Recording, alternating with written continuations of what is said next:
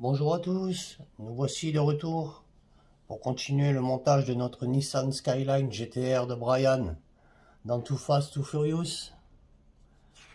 Donc on est arrivé au stage 9 et on va continuer notre montage.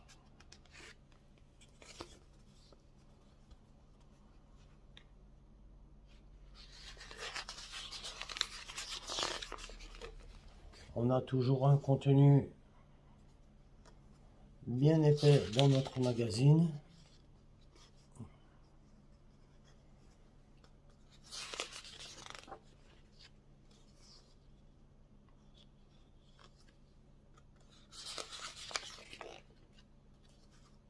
Et nous voici à l'étape du montage du système de suspension avant. Ce sont nos pièces que l'on a vu dans ce numéro et le montage que l'on va effectuer et le résultat que ça va donner. Alors, on va commencer tout de suite le montage.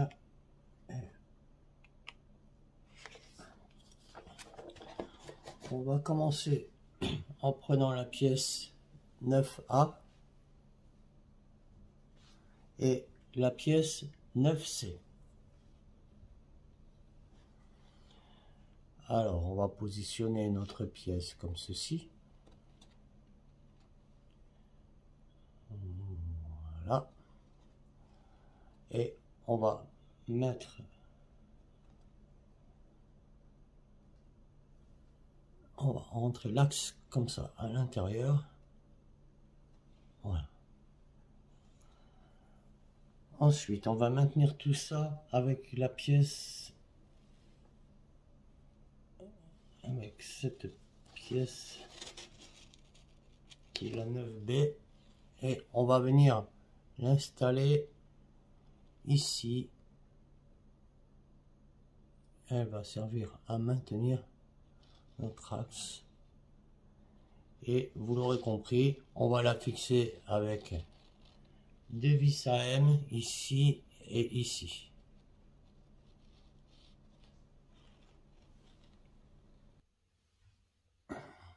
Voilà, nos deux vis sont mises.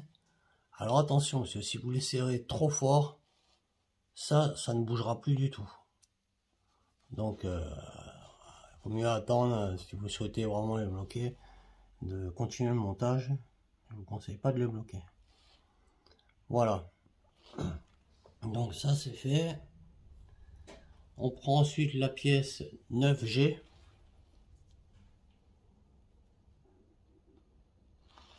Et on va venir la placer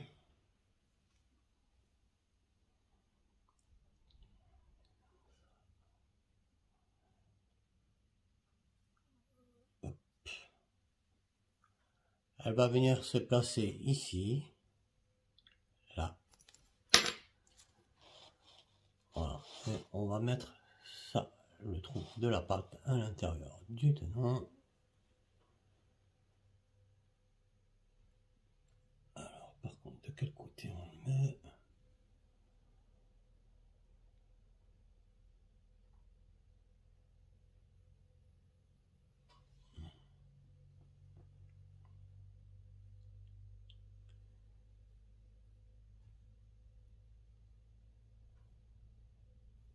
Non, c'est pas comme ça, ça va comme ça. Voilà, impeccable. Donc, on va venir installer notre pièce comme ceci. Et on va la fixer ici, sur le dessus, avec une vis AIM. Donc voilà, notre vis a été mise ici. On va maintenant récupérer les pièces 9i et 9h. On va mettre la petite encoche là vers le haut. Et on va mettre ça dans ce sens-là, comme ça.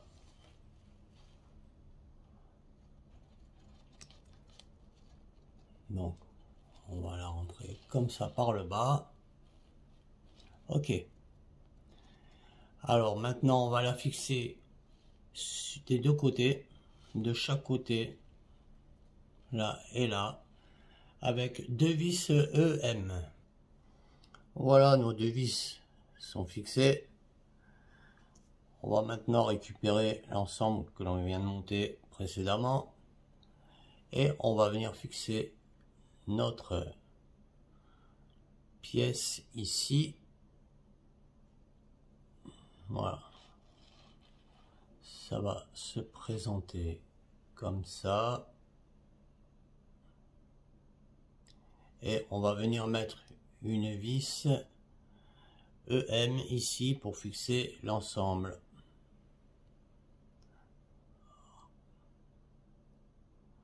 On va mettre notre vis ici. Voilà.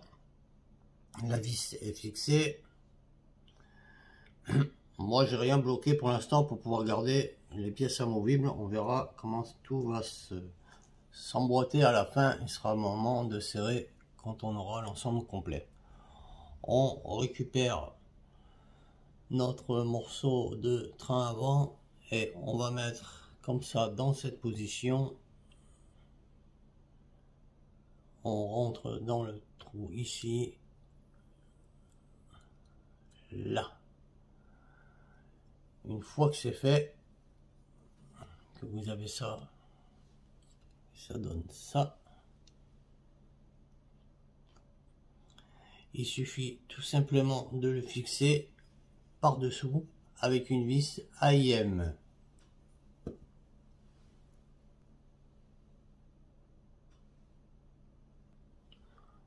Notre vis est maintenant fixée. On retourne l'ensemble et on récupère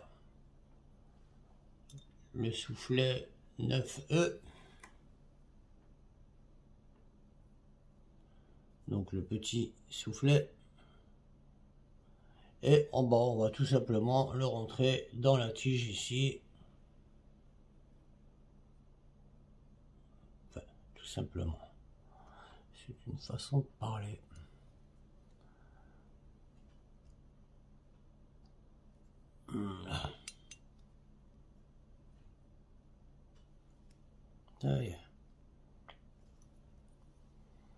Voilà. C'est terminé pour ce numéro 9. On va passer au numéro 10. Voici donc le numéro 10.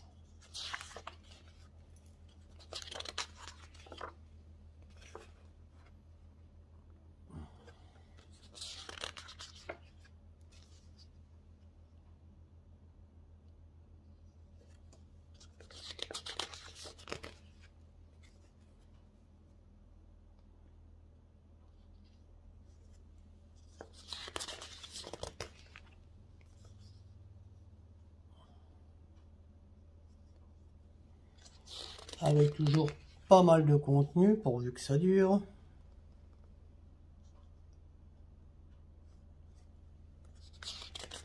Vu que maintenant la mode c'est d'éditer ces magazines en digital, en numérique, donc de ne plus les imprimer. Bon. Là, nous avons nos pièces ici. Le suivi du montage. Donc vous l'avez compris on va attaquer le turbo. On va attaquer le turbo. Et atteindre ce résultat là alors on va démarrer le montage. Et on va commencer par prendre la pièce 10A et 10B voilà. La pièce 10A et la pièce 10B. Bon, donc ça peut aller que dans un sens, hein, puisque on a un côté plat. Donc le reste est arrondi. Donc on peut pas se tromper. Voilà, ils sont assemblés. On continue notre assemblage avec la pièce 10C qui elle va venir sur le petit trou du dessus se fixer hop pareil par une simple pression en l'emboîtant comme ceci. Voilà pour ça. On va récupérer le montage de notre moteur. Et on va euh, venir mettre les installer les collecteurs. Alors ils vont venir se mettre donc aux emplacements que l'on a tout le long. On a donc deux collecteurs à placer un comme ceci et le deuxième qui va aller à côté comme ça. Voilà et on va les fixer avec 4 vis KM. Voilà nos collecteurs qui sont vissés maintenant par les 4 vis. On va récupérer nos pièces 10J.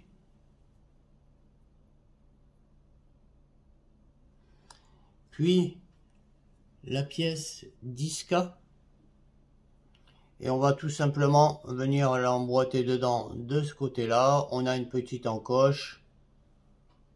On a une petite encoche. Donc on va la rentrer dedans. Rien de compliqué. On presse. Et voilà. Ensuite ça ça va faire en deux fois puisque les pièces sont en double hein. ensuite on va prendre la pièce 10L et puis pareil on va venir on a la petite encoche ici et là. On va venir la positionner comme ceci.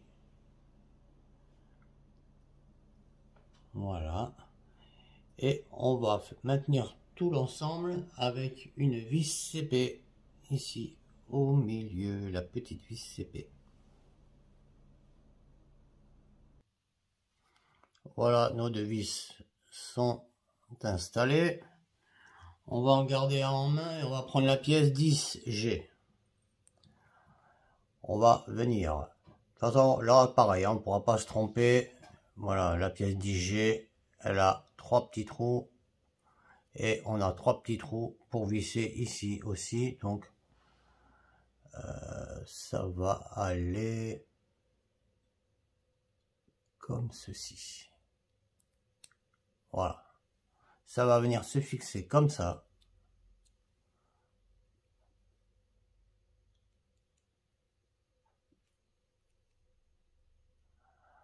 Voilà. On va fixer l'ensemble avec trois petites vis capées.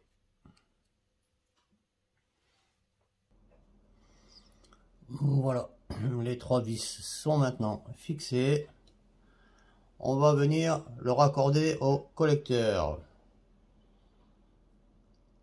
Donc on a les petits trous ici. Un qui va servir à emboîter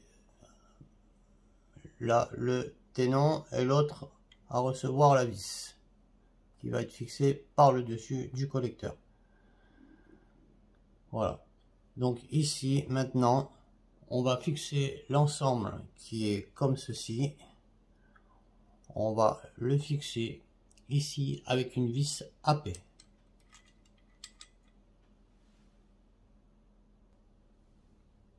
C'est fixé à notre moteur.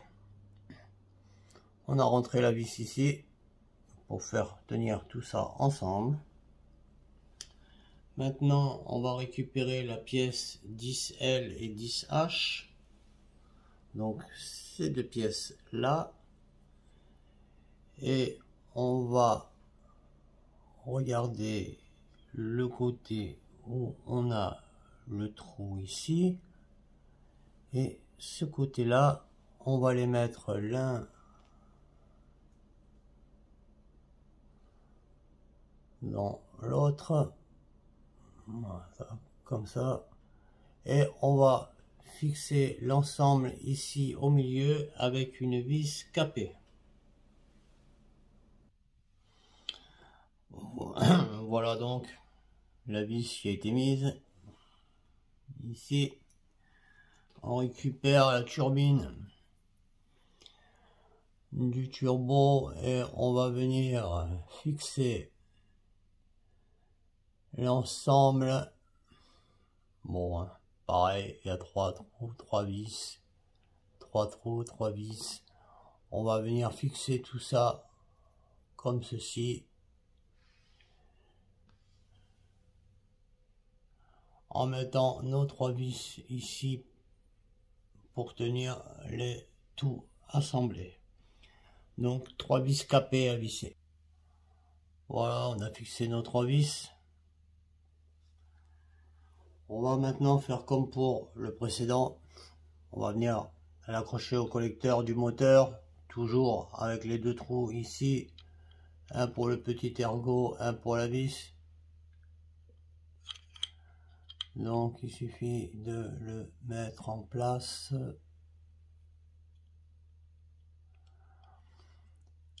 Et de mettre la vis ici par dessus donc comme tout à l'heure une vis AP voilà une fois que vous avez fixé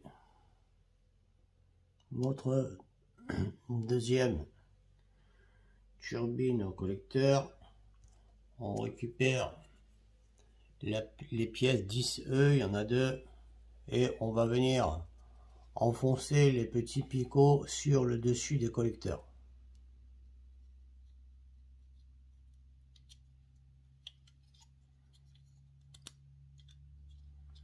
Voilà pour un.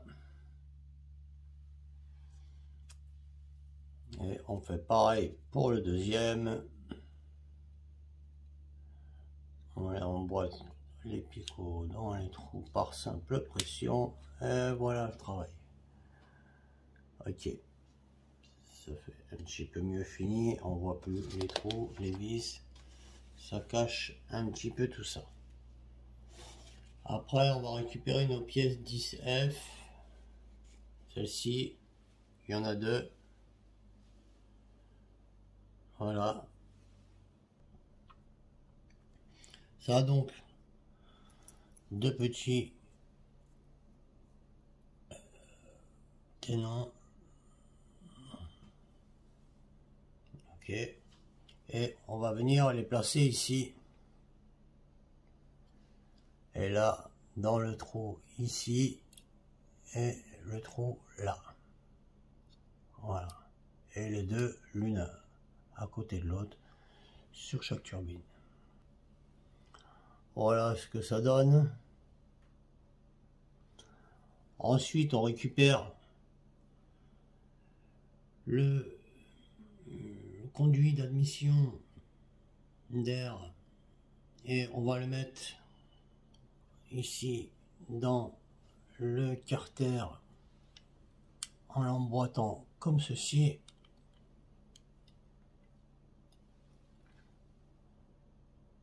voilà bien sûr, il va aller plus bas. Bon, c'est rond là, donc on, vous le manipuler. C'est rond, ça va plutôt aller comme ça, à peu près. On verra ça plus tard.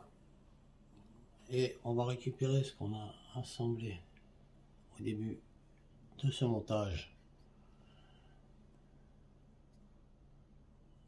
Le conduit d'admission d'air et on va le mettre dans le carter du compresseur arrière. Donc ici on va le mettre ici donc dans l'autre. Et ça va aller à peu près je pense comme ça. Alors est-ce que ça il y a ça qui nous gêne là je sais pas pourquoi. Est-ce que je l'ai bien mis?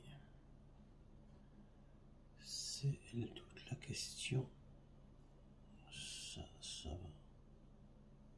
Non, c'est pas celui-là, c'est ça. un petit peu compliqué à voir sur le dessin quand même.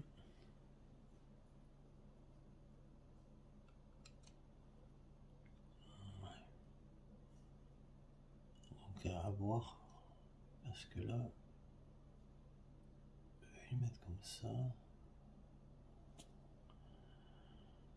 Je sais pas trop là. Bon, petite rectification, la petite pièce carrée là, elle n'allait pas en bas ici, elle allait en haut. Donc voilà, maintenant, tout est assemblé et nous avons fini le stage 10. On va donc passer au stage 11. On poursuit donc notre montage avec le numéro 11.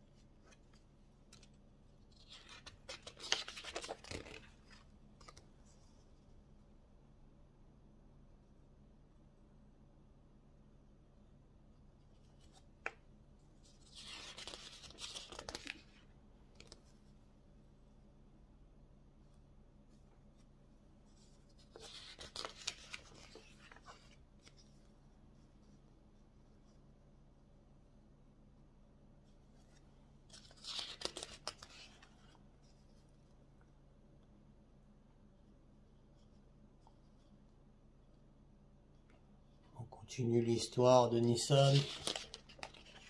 Et on arrive aux pièces qu'on a eu dedans qui concernent donc tout le système d'injection de notre moteur de cette Nissan Skyline GTR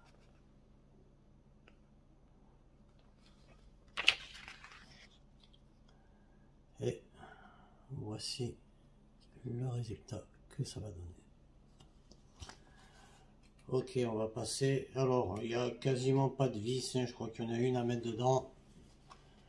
Ça va être uniquement des petites pièces à emboîter. On commence à prendre par la, à prendre la pièce 11A et on va venir la fixer au petit ténon qui se trouve ici, ici, ici. Et ici.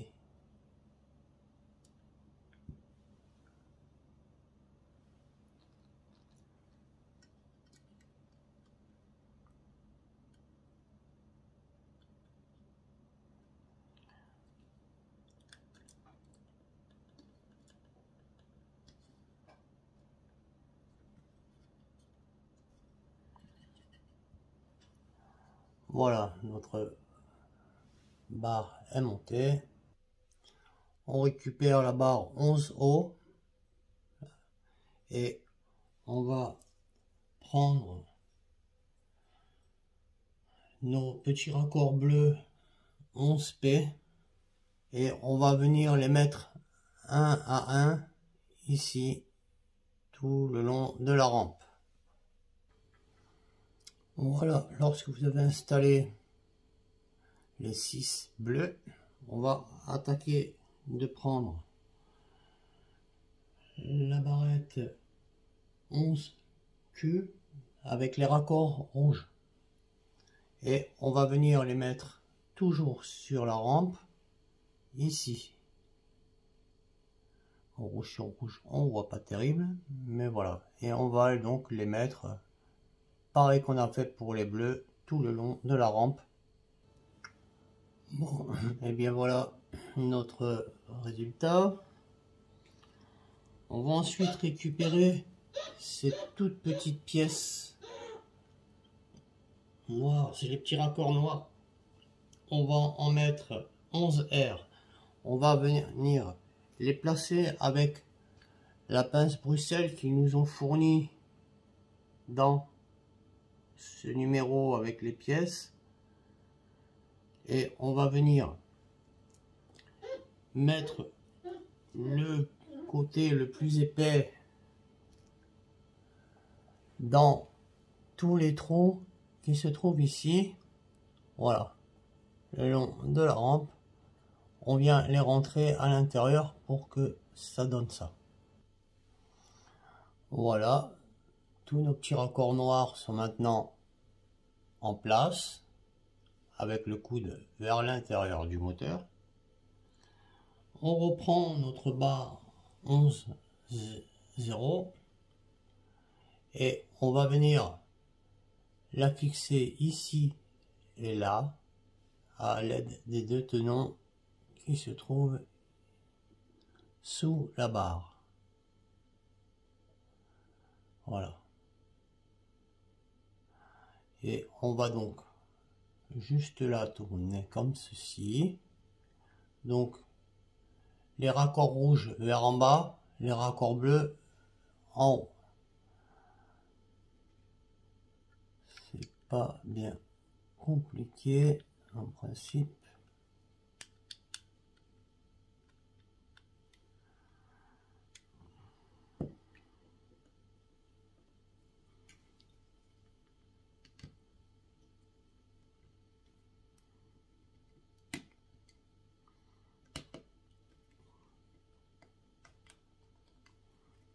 Voilà. Fixé. Ensuite, on va prendre la pièce 11B. L'ornement du cache-culbuteur. Et on va venir le placer sur notre moteur. Comme ceci.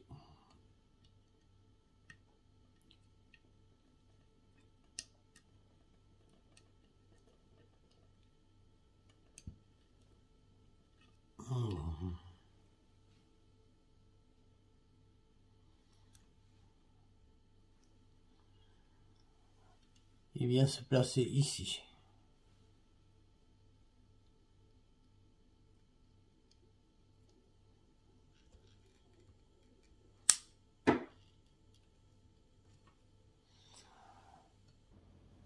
Voilà, il est en place. Maintenant, on prend la pièce 11G et on vient la mettre ici.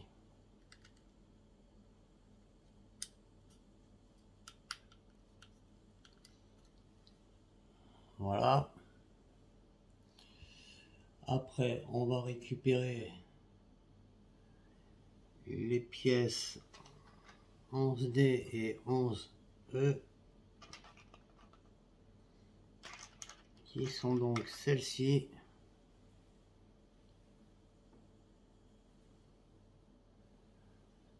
et il va falloir les mettre ici sur le dessus du moteur.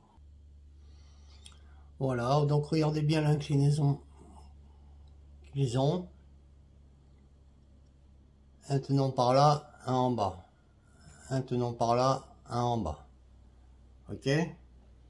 On prend la pièce 11F. et on va venir mettre cet embout ici. On va le rentrer à l'intérieur. Si on peut.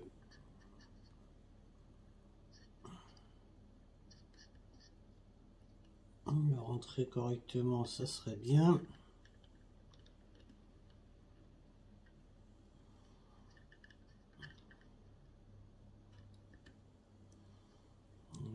pas beaucoup d'accès, c'est pas super pratique. On va essayer de le rentrer au maximum sans tout détruire. C'était plus judicieux de le placer avant. Bon, bah, ça va, ça s'en va. On va l'enlever carrément et on va le rentrer à fond comme ça. Voilà. Je vais le remettre dedans. Voilà, qui est fait. Maintenant, on va l'incliner un petit peu. Et on va rentrer l'autre extrémité bah, euh, dans la pièce qu'on vient de fixer à l'instant. ça nous maintiendra un petit peu tout ça en place un peu plus correctement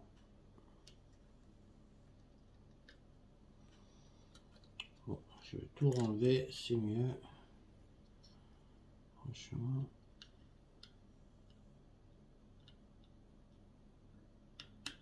Voilà. Et on a un montage un petit peu plus correct. Ça la pièce de la durite noire étant plus souple. On peut c'est plus malléable. On peut tout rajuster après. Voilà. Voilà c'est fixé des deux côtés ensuite on va prendre la pièce 11C et on va venir bah, raccorder ici et ici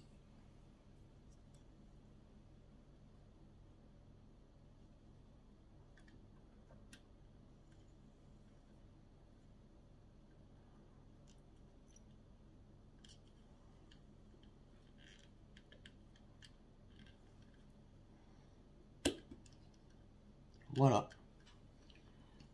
Ça aussi, c'est fixé. Ça commence à prendre fort.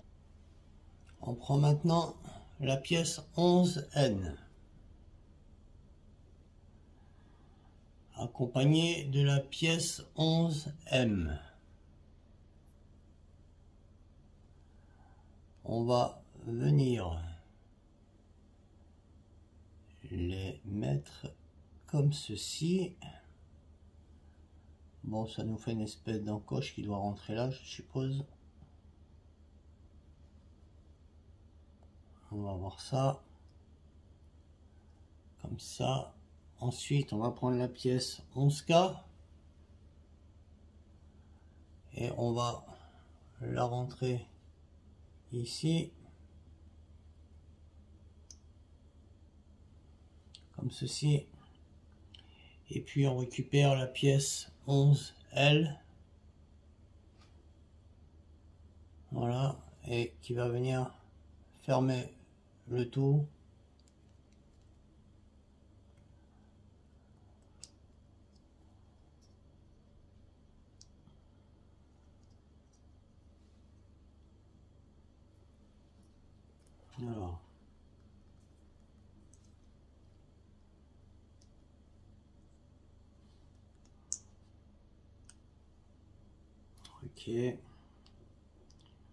donc ici on avait une encoche à respecter.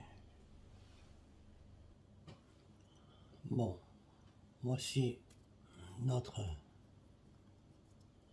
résultat. On va maintenant venir fixer ça dans les deux trous que nous avons en haut ici. On va venir l'emboîter comme ça. La voilà donc en place. On va prendre plus ensuite la pièce 11H de la pompe du direction que l'on va venir tout simplement emboîter dans les deux petits trous de la pièce qu'on vient de monter.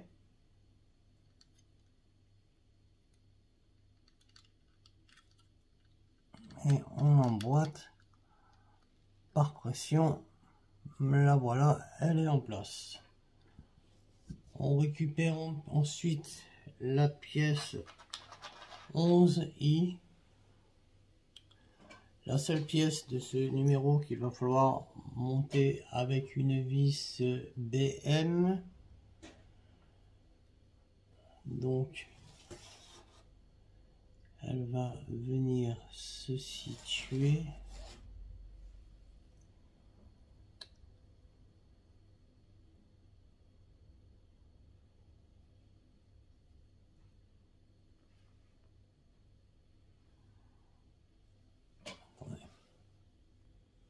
Voilà donc.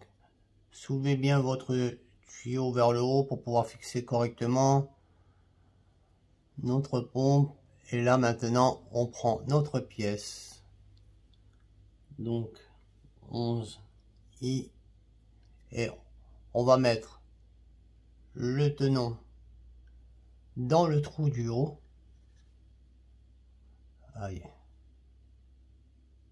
Voilà, dans le trou en haut. Et dans le trou en bas, on mettra la vis. Donc ça va donner ça à peu près. Voilà. Et maintenant, on va mettre notre vis ici. Là. On va mettre donc la vis BM. Lorsque vous avez mis la vis ici, il suffit juste maintenant de rabattre le trou qu'on a ici dans le tenant pour maintenir le tout bien assemblé ensemble. Voilà. Et pour terminer, on prend la pièce 11J et on, on emboîte les deux tenons dans les trous ici et ici sur les côtés. Ça aura aussi le bénéfice de cacher la vis noire que l'on a ici.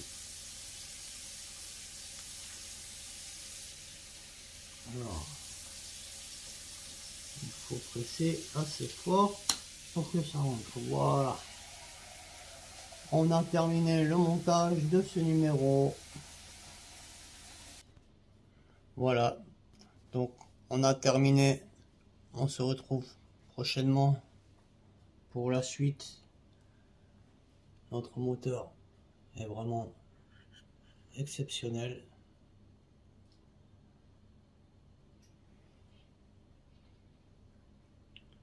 On a fait une belle avancée avec le montage de notre injection, de notre turbo, le montage aussi d'une partie du support de frein avant. Et puis bon toutes les pièces que nous avions déjà eu précédemment donc voilà les amis, on va se retrouver bientôt pour la suite. Merci à vous tous. Salut